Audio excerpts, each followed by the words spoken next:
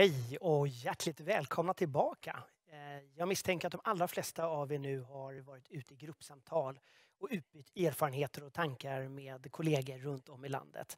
Jag hoppas det har varit spännande, kreativa samtal som har gett mycket. Nu ska vi raskt studsa vidare till nästa valbara seminarium som heter Att möta en pandemi med distansundervisning. Eh, till min hjälp eh, för det här passet så har jag bjudit med mig Madeleine Hermren som är min kollega på Kulturrådet. Som kom till oss på Kulturskolecentrum för ett år sedan eh, ungefär och har under lång tid innan dess jobbat inom kulturskolans värld både som strateg, projektledare och teaterpedagog. Så en, en rik erfarenhet som kom in till oss till Kulturskolecentrum Eh, och ganska snabbt så insåg hon också att det finns en hel del frågor som var aktuella från den värld hon klev ur till den värld hon klev in. Så hon tog med sig detta och vi sjösatte helt enkelt nätverket för distansundervisning. Varmt välkommen Madeleine. Tack så mycket. Ja, under det här seminariet så kommer vi att få ta del av erfarenheter från det senaste året när många musik och kulturskolor gick över till distansundervisning. Vi kommer också att blicka framåt och se hur kan de digitala uttrycken bli en del av kulturskolans verksamhet längre fram. Lite definitioner till att börja med. Skolverket definierar distansundervisning på följande sätt. Interaktiv undervisning som bedrivs med informations och kommunikationsteknik där elever och lärare är åtskilda i både rum och tid. Fjärrundervisning har en liknande definition men att elev och lärare är åtskilda i rum men inte i tid. Under det här seminariet så kommer vi använda distansundervisning som samlat begrepp. Musik och kulturskolorna har gjort båda formerna, ofta i kombination. Hur ser det då ut nationellt med distansundervisning? I eh, maj förra året så gick vi ut med en enkät från Kulturskolecentrum. Och då fick vi 82 svarande musik och kulturskolor. Och 82 procent av dem hade haft distansundervisning i någon utsträckning. I februari i år så gick vi ut med en ny enkät och den här enkäten har ett flertal frågor. Det handlar också om hur Kulturskolan har bedrivit sin verksamhet under pandemin med koppling till anpassningar eller nedstängda verksamheter. Och svaren finns i sin helhet på Kulturskolecentrums webb. Men de frågorna som vi ställde kring distansundervisning var om eh, Kulturskolan hade bedrivit distansundervisning med anledning av pandemin de två första månaderna av 2021. Då svarade 14 kulturskolor att de enbart hade gett distansundervisning, ingen annan typ av verksamhet. 149 hade bedrivit distansundervisning till viss del och 14 kulturskolor hade inte bedrivit distansundervisning i någon utsträckning. Det var 171 musik och kulturskolor som svarade på detta från lika många kommuner. Vi ställde också en fråga som handlade om de senaste 12 månaderna och hur det hade bedrivits distansundervisning då. Och då hade 90 procent av de svarande bedrivit distansundervisning i någon utsträckning och 9 procent inte alls. Och så fanns det några där inte hade angett svar på det. Den bild som vi delger här kommer dels från de här enkäterna, andra sammanhang som vi är i dialog med musik och kulturskolor. Vi har tittat in på Facebookgrupperna som rör distansundervisning i kulturskola men huvudkällan är Kulturskolecentrums nätverk för distansundervisning inom kulturskola.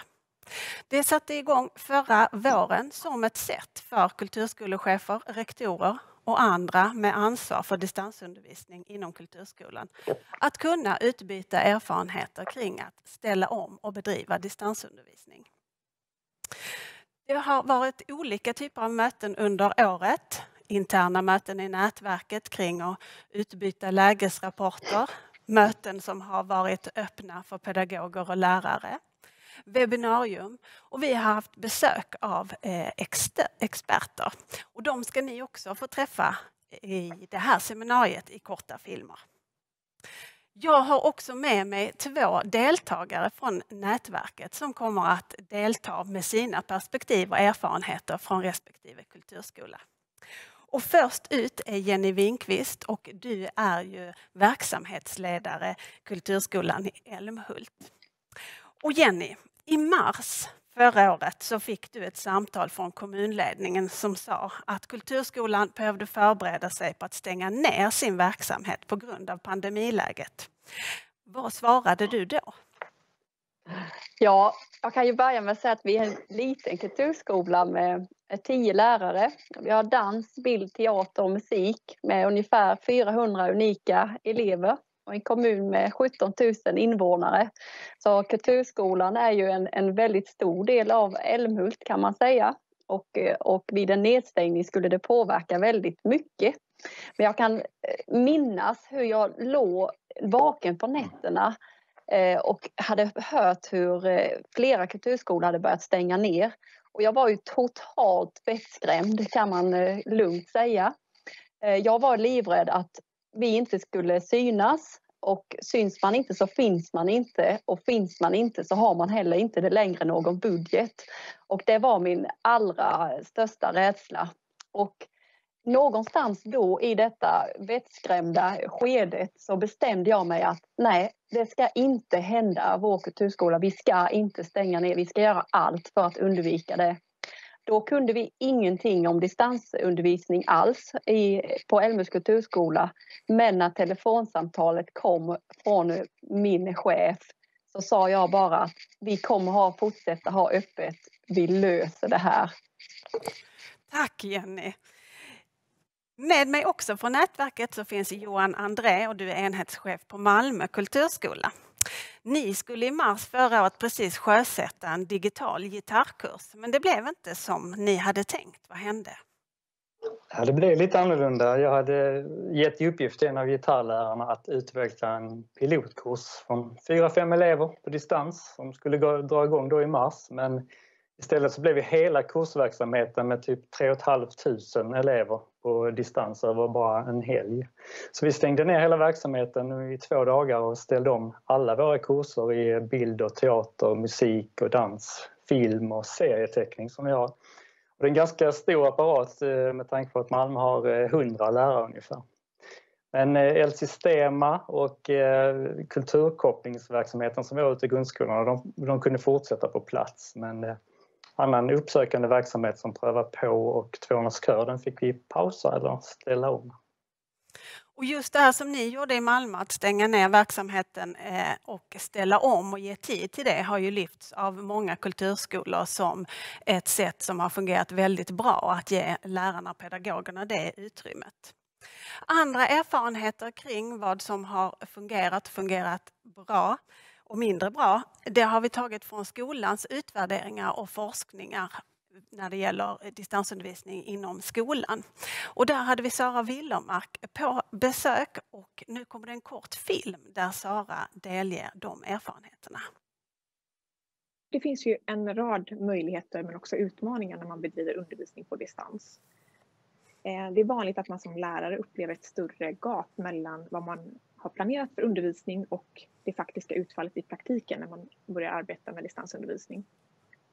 För att eh, arbeta digitalt addera komplexitet. Det är borttappade lösenord, det är nätverk som ligger nere, det är elever som tar vägar i systemen som man aldrig hade liksom kunnat förutse. Eh, och till viss del så får man ägna en viss del av sin tid åt att liksom hantera tekniska problem och särskilt initialt. Då, vilket kan ta fokus från ämnesinnehållet. Eh, samtidigt så finns det många möjligheter med distansundervisning, eh, bland annat att man kan nå nya elevgrupper men också att man genom att arbeta digitalt hittar nya verktyg, metoder som kan stödja undervisningen på olika sätt. Det är vissa saker som blir särskilt kritiskt vid undervisning på distans. Bland annat så blir tydlighet och struktur väldigt mycket viktigare, ibland på bekostnad av flexibilitet. Eh, det är inte lika lätt att fånga upp signaler, rätta till missförstånd på distans Eh, man saknar den här överblicken som man har i ett klassrum. Så det gäller att vara extra noga med att uttrycka ramarna för undervisningen. Vad förväntas eleverna göra, när, med vilka resurser? Det handlar på något sätt Det blir också viktigare att ha en plan B och kanske också en plan C i beredskap. Oavsett hur väl man förbereder så kommer oförutsedda saker att ske. Ehm, så det kan vara bra att se till att ha en plan för hur man ska hantera situationer om exempelvis nätverket krånglar, eleverna inte lyckas logga in och så vidare. Till vem vänder man sig? Finns det support på skolan? Den typen av frågor. Det är också viktigt att skapa en känsla av social närvaro även på distans. Det finns en mängd knep man kan ta till. Alltså ett, ett sådant sätt kan vara att slå på kameran vid synkrona möten, att se till att inte ha motljus eller liksom ha den i en okej höjd så att man ser ansiktsuttrycken på varandra. Eh, det kan också vara en, ett smart knep att tilltala varje elev vid namn minst en gång under ett möte till exempel, eller en lektion. Det kan också vara viktigt att avsätta tid att mötas utan en agenda. Eh, när man ses i klassrummet eller i korridorerna fysiskt så finns det ofta utrymme för de här vardagliga samtalen så det kan vara viktigt att avsätta tid för att mötas för det här man brukar kalla en digital fika och så vidare. Eh, hur kan man stödja lärares arbete vid distansundervisning? Jo, men det handlar såklart om att ha en digital infrastruktur på plats, att erbjuda stödåtgärder, exempelvis IT-support, teknopedagogiskt stöd. Man brukar också framhålla att det är viktigt att tänka skolutveckling eller verksamhetsutveckling snarare än kompetensutveckling av enskilda individer. Att man tar liksom ett större grepp kring utvecklingsarbetet. Eh, se till att det finns ett forum för där lärare kan till exempel lära av varandra, sprida goda innovationer och så vidare. Det är också viktigt att man har en långsiktighet i utvecklingsarbetet. Eh, det finns en ganska utbredd projekttrötthet bland lärare. Eh, så det är viktigt att liksom både bedriva och kommunicera att eh, arbetet är hur man som lärare presenterar och relaterar till digitaliseringen är också viktigt. Forskning har visat att skolledarens inställning har stor effekt vad gäller lärares liksom kollektiva engagemang. Och lärare motiveras av skolledare som är entusiastiska, är tydliga med sin vision och föregår med gott exempel. Och det betyder inte att man behöver vara liksom en digital expert, men man ska kunna navigera i de systemen som man liksom har i verksamheten. Eh, och man ska ha ett tydligt pedagogiskt snarare än ett tekniskt mål. Sara lyfter ju här vikten av stöd och struktur från organisationens sida. Så jag vill fråga dig Johan, hur du och dina chefskollegor har arbetat för att kunna stötta pedagoger och lärare i distansundervisning? I början handlade det ju eh, väldigt mycket om att skapa förutsättningar för mig och mina enhetschefskollegor. Vi eh, skaffade utrustningar och letade digitala plattformar och sådana saker. Men sen så var det viktigt för mig att checka av med alla lärarna vilka lösningar de tänkte sig och vilka behov som blev skapade för just dem.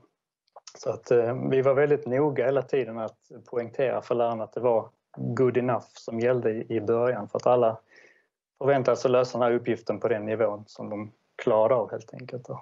Själva omställningen var väldigt lätt att motivera för att eh, syftet var glasklart. Det var en pandemi så att eh, det var inga problem med det. Jenny, hur har ditt ledarskap och din dialog med dina medarbetare sett ut? Ja, alltså vi, vi skapade väldigt snabbt en, en gemensam fiende och den fienden var just nedstängning och det gjorde att vi, vi höll ihop väldigt bra.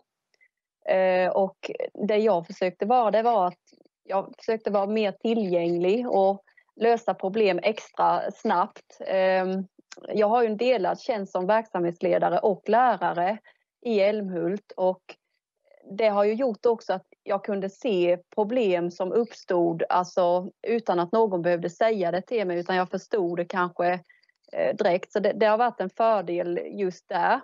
Eh, sen så var, försökte jag att se till att man inte glömdes bort fast man inte träffades fysiskt, att man ändå hörde av sig och, och, och pratade med varandra. Och sen när det gällde undervisningen så Eh, och distansundervisningen så försökte jag aldrig att, att peka med hela handen att så här gör vi utan att alla lärare fick utgå från den nivå de befann sig själva på.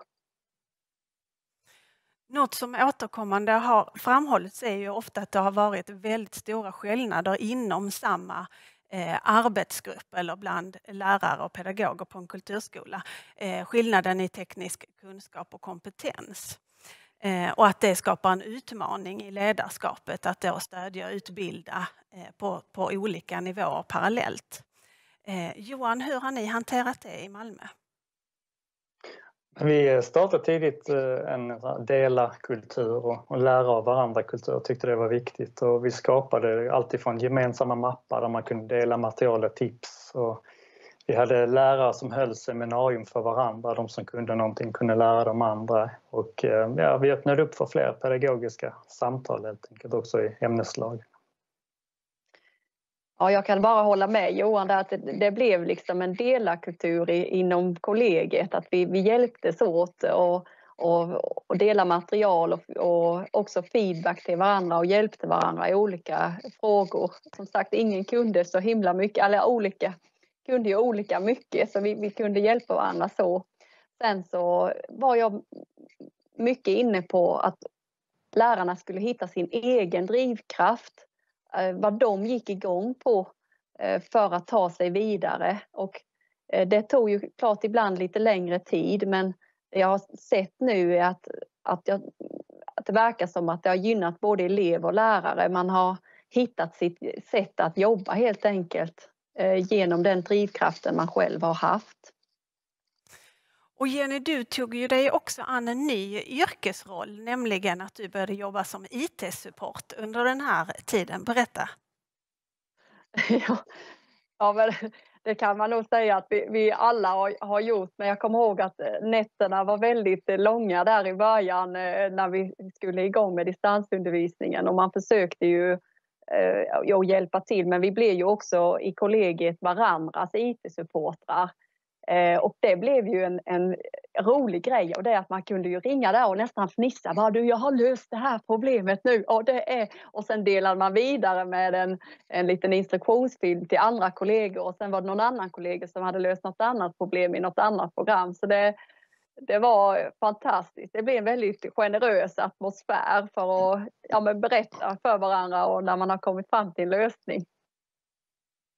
Och det är just den övergripande bilden, upplever jag, hur kulturskolorna och dess pedagoger och lärare har tagit sig an den här omställningen till distansundervisning. Att det är med mycket energi och stor kreativitet och att just drivkraften för att fortsätta möta barn och unga, kunna undervisa har varit så stark som har gjort att även om, om det har varit helt nya områden och nya sätt så har det just varit en drivkraft att lära sig för att kunna nå barn och unga. Och den digitala utvecklingskurvan eh, har ju pekat väldigt brant uppåt. Men det har ju också i nätverket och i andra sammanhang lyfts en oro kring Eh, det digitala. Eh, en rädsla till exempel om vikten av det oslagbara fysiska mötet ska glömmas bort. Eh, och just som du var inne på Jenny med att vad händer med lokaler till exempel om kulturskolan är på distans och kan det påverka budget. Så vad har ni mött för oro och frågor från era medarbetare och hur har ni hanterat det? Alltså, frågorna handlade i början väldigt mycket om att klara av tekniken och vilka metoder man skulle använda för att undervisa på och sånt där. Men sen när det handlar om oron så tänker jag att det, man behöver förebygga oro hela tiden med att kommunicera väldigt mycket. Och jag har haft mycket tätare kontakt eh, och uppföljning än vad jag har haft i vanliga fall. Och, um, lärarna jobbar ju väldigt mycket enskilt i, i vanliga fall och, och, det är inte säkert att jag har kontakt med alla mina 25 medarbetare varje vecka. Men nu blev det väldigt viktigt för mig att säkerställa att jag faktiskt hade kontakt med dem varje vecka. Så att jag gick till och med så långt så att jag skaffade mig ett dokument där jag skrev ner eh, kontakterna jag hade haft med lärarna för att vara säker på att jag hade haft någonting. Och om det så var ett sms eller mail eller ett telefonsamtal så, så antecknade jag det så jag visste hela tiden. Och eh, vi, vi, vi hade en oro i att speciellt i början där eh, om, om det vi gjorde var tillräckligt bra. Eh, kommer vi ha elever kvar? Eh, når vi alla eleverna som, som alltså gör vi vårt bästa för att nå alla elever? och också den här att man, man är ju väldigt ensam som lärare. Nu blir man ännu mer ensam i och med att man, man träffades inte fysiskt. Men just när det gäller det här med att, att känna att det funkar bra och så, det kom väl med tiden. Alltså våren var ju flummig så kan man väl säga medan hösten och våren 2021 har, har känts stabilare i det. Att det känns som att man har hittat ett sätt som verkar fungera tillsammans med eleverna.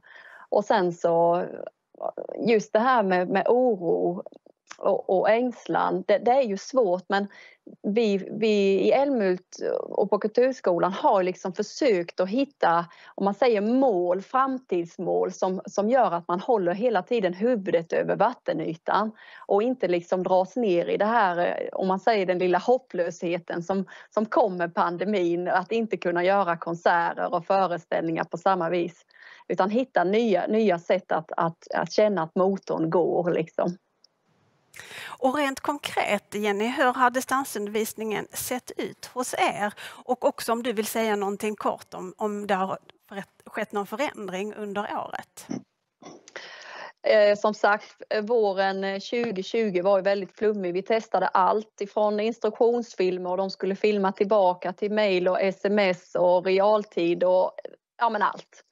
Och eh, hösten och våren, alltså hösten 2020, våren 2021 eh, så hade vi gjort utvärderingar och också lyssnat väldigt mycket på andra kulturskolor som hade gjort utvärderingar och, och, och sett att fjärrundervisning i, i realtid eh, fungerar helt enkelt bäst för, för mestadels av våra elever på Kulturskolan i Älmhult. Så det, det, är det vi har kört. Men vi har ju även haft andra sorters undervisning igång. Till exempel att vi har skickat instruktionsfilmer till vissa elever som, som har känt att ja, men det passar bättre för mig helt enkelt.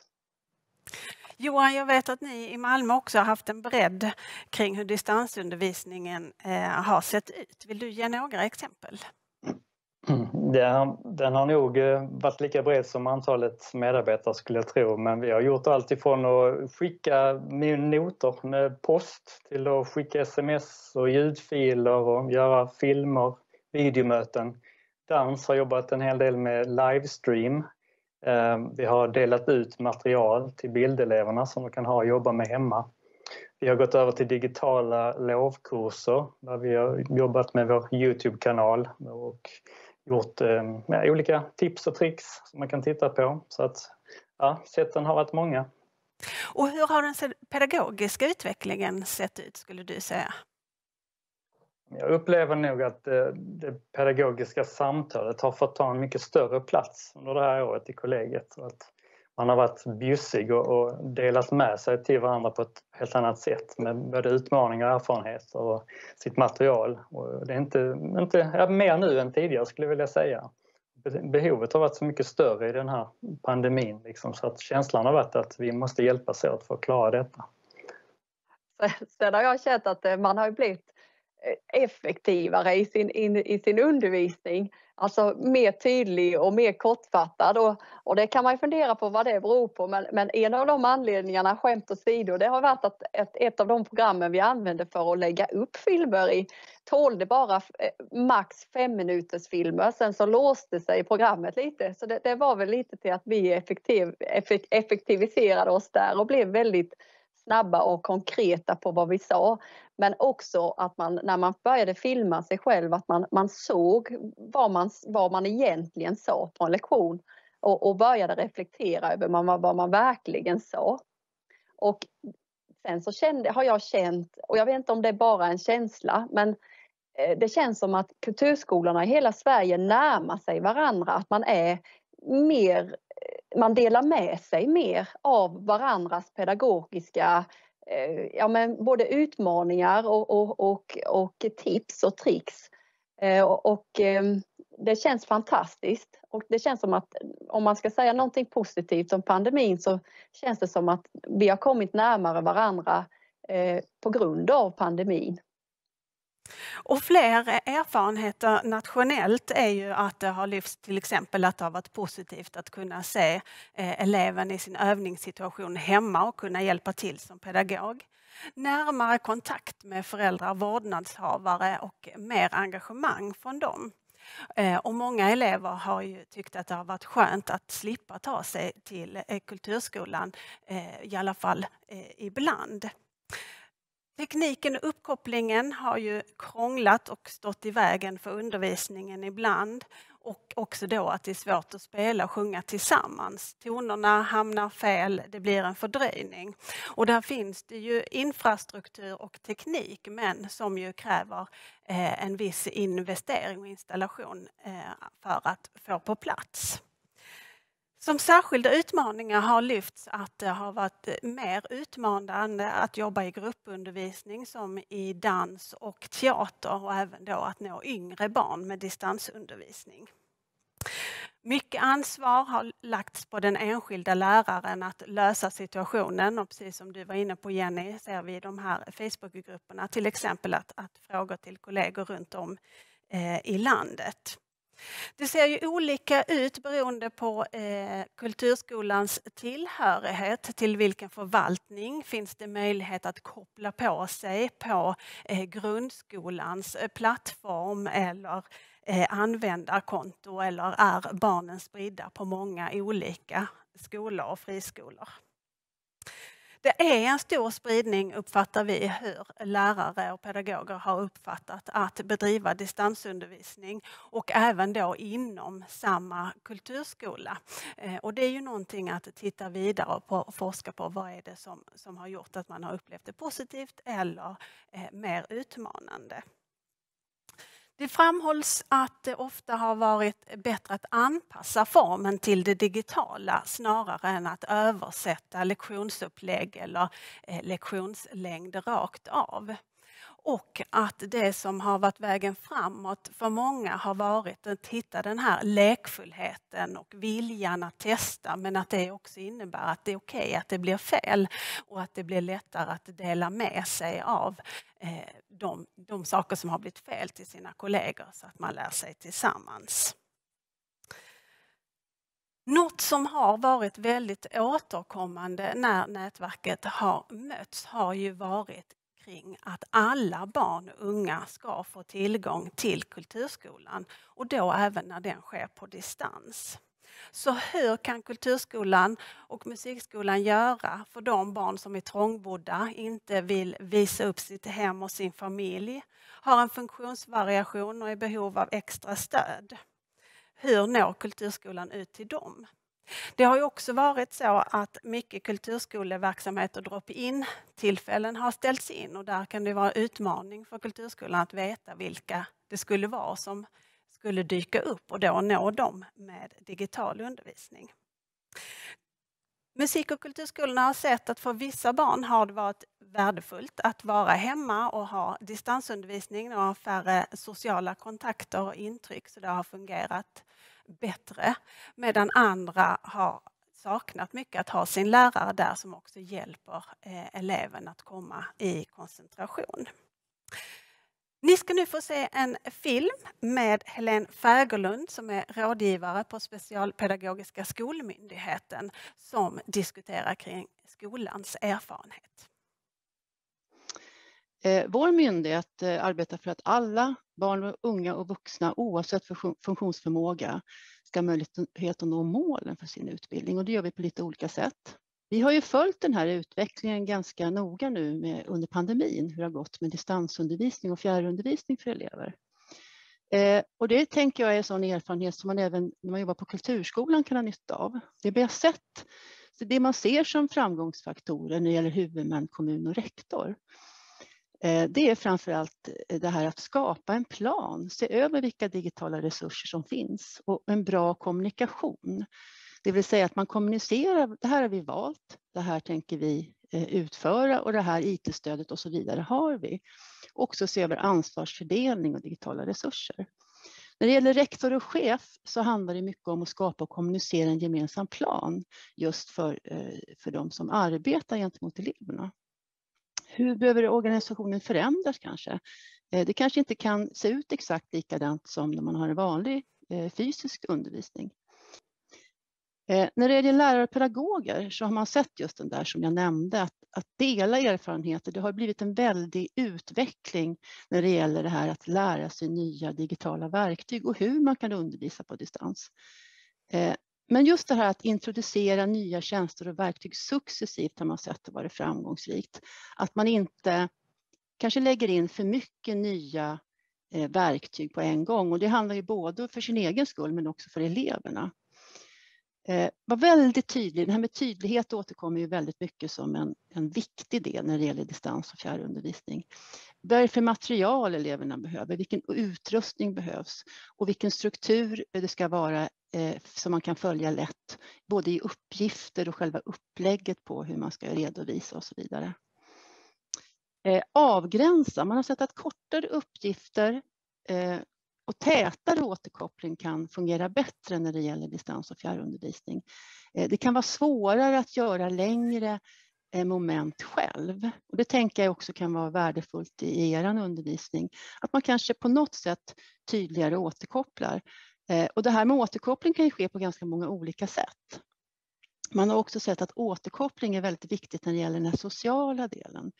Eh, dels givetvis för, för utveckling i det man håller på att utvecklas inom, om det så är musik eller teater eller något annat ämne. Eh, men också den här sociala interaktionen är väldigt viktig. Eh, och för er del gäller det också att engagera instruera föräldrar. Det kan man inte göra på samma sätt i skolan eller kräva, även om det givetvis är en, en bra, ett bra stöd. Sen ska man komma ihåg att det kan verka på olika sätt, de här stödstrukturerna som är väldigt viktiga för elever med olika eh, typer av, av särskilda behov. Eh, och det kan ju vara väldigt kanske bra ibland att använda digitalt. Just det att kunna lyssna på en genomgång en gång till. Det kanske kan vara enklare faktiskt i distans och fjärrundervisning. Och så de här skrivna instruktionerna som kan ligga kvar som man kan eh, gå och titta på i efterhand. Och så just det här med avgränsningar, kanske tänka att man har kort kortare deluppgifter istället som man möts upp efteråt.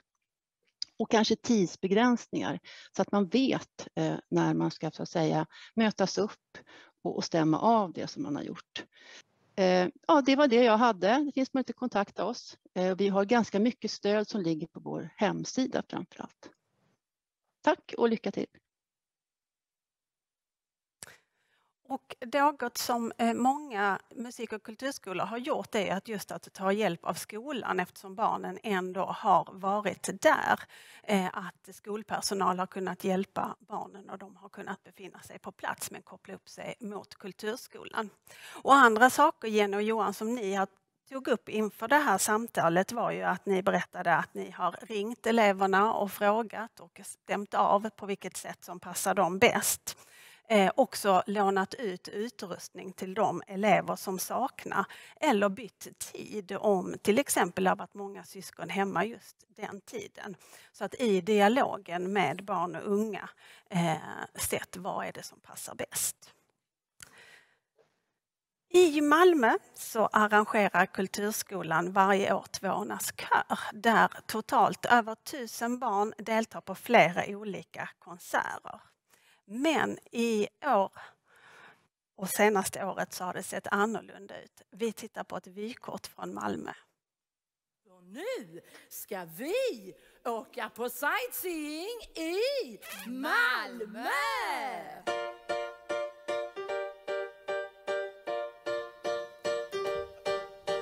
Jag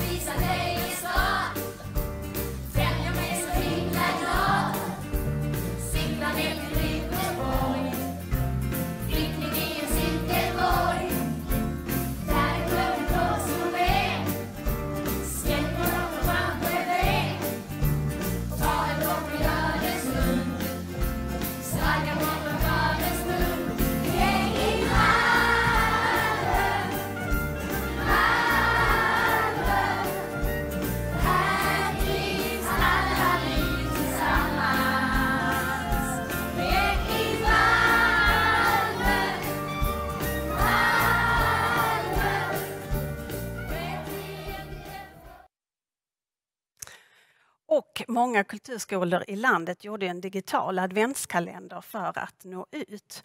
Och i Älmhult så tog sig Kulturskolan rollen som arrangör för Älmhults adventskalender. Och nu så ska vi se ett smakprov därifrån, ett vykort från Älmhult. Nu är vi inne i den allra mörkaste tiden på året. Många drar sig undan för att slippa frysa och för att dagarna ändå tar slut så snabbt. Men det här är ju tiden då vi behöver varandra som mest. Så nu öppnar jag min skattkista för dig. Och de här skatterna blir större när vi delar dem med varandra. Glöm inte det.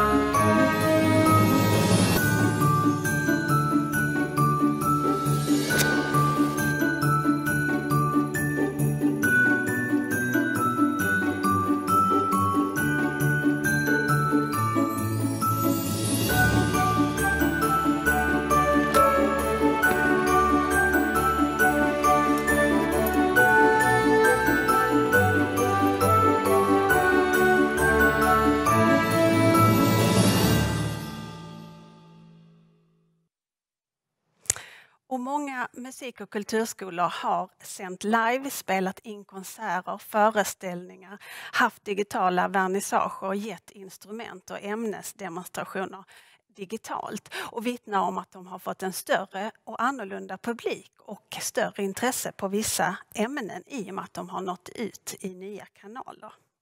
Men andra berättar att just rekryteringen av nya elever är det som har varit eh, svårast de senaste 12 månaderna.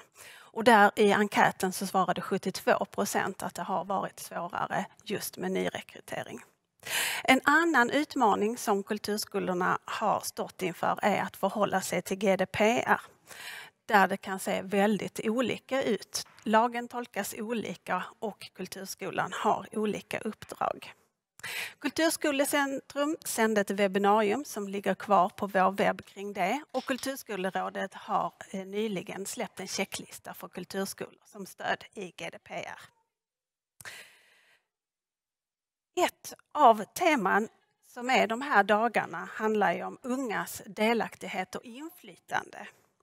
Så hur ser ni att barn och ungas möjlighet till delaktighet och inflytande ser ut i distansundervisningen? Och ni ska få svara helt kort. Eh, jag tror många lärare har jobbat mer och mer med delaktighet i upplägget av distansundervisning under det här året och vad funkar bäst för den enskilda eleven helt enkelt. Om det är videoträffar på en bestämd tid eller om det är göra en film som redovisas när, när, eleven, när det passar eleven. Och jag tror många lärare har gått ett steg längre nu i pandemin med den här och, eh, delaktigheten och jag hoppas verkligen att det följer med nu efteråt också. Jenny, om du ska Det är säga något. samma, samma här. Alltså, distansundervisningen har ju möjliggjort ett, en större flexibilitet eh, i undervisning och man, man har hört sig för mer eh, hos eleverna vad, vad, vad som passar i upplägg och innehåll. Som avslutning så ska vi spana lite framåt och vad vi ser när det handlar om framtiden och digital kulturskola. Det som vi ser är att eh, nya ämnen har tillkommit och finns på flera kulturskolor än innan. Vi ser också i ansökningarna till utvecklingsbidraget att många söker just för att vidareutveckla nya ämnen som podd och film och radioteater, musikproduktion och spelskapande. Den här bredden i uttrycksformer och möjligheten att redovisa sitt konstnärliga uttryck gör ju också större valfrihet och delaktighet för unga att välja det sätt som passar. Kulturskolorna ser att det digitala kan vara ett sätt att nå hemmasittare till exempel. Att det här komplementet som Hel- Helene pratade om, att instruktionsfilmer kan ligga kvar och danskoreografier så att eh, barn och unga kan gå tillbaka och repetera. Det är intressant för Kulturskolans organisation att se att det går att samsas om kompetenser, gästlärare exempelvis, som inte blir lika beroende av bostadsort. Och att det troligen kommer att finnas ett digitalt kursutbud. Vi vet att det gör det redan idag, men att det troligtvis kommer att öka antingen på den lokala kulturskolan eller med möjlighet att ta del från kurser över hela landet. Och för kulturskoleläraren kanske en möjlighet till en flexiblare arbetssituation. Att jobba hemma, eh, att jobba med digital undervisning viss del av veckan. Och här har det ju lyfts både att det har upplevts positivt av lärare och pedagoger eller en rädsla att behöva jobba dubbelt och alltid ha eh, dubbla planeringar. Och där återigen att koppla tillbaka till ledarskapet att där är det viktigt att se att det blir hållbart. Några spaningar framåt.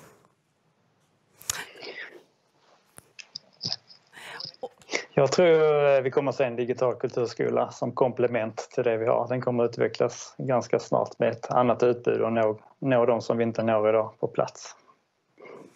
Jenny, om du ska säga? Och jajamän. Ehm, jag, jag tror också att, att en distansundervisning kan nog inte ersätta en fysisk eh, lektion eller, och kraften i en, en social fysisk grupp. Eh. Eh, Men jag tror absolut att det kommer bli en, ett komplement för vissa elever och, att för vissa elever passar det helt enkelt bättre. En helt enkelt en mer flexibel kulturskola tror jag att det kommer bli efter detta.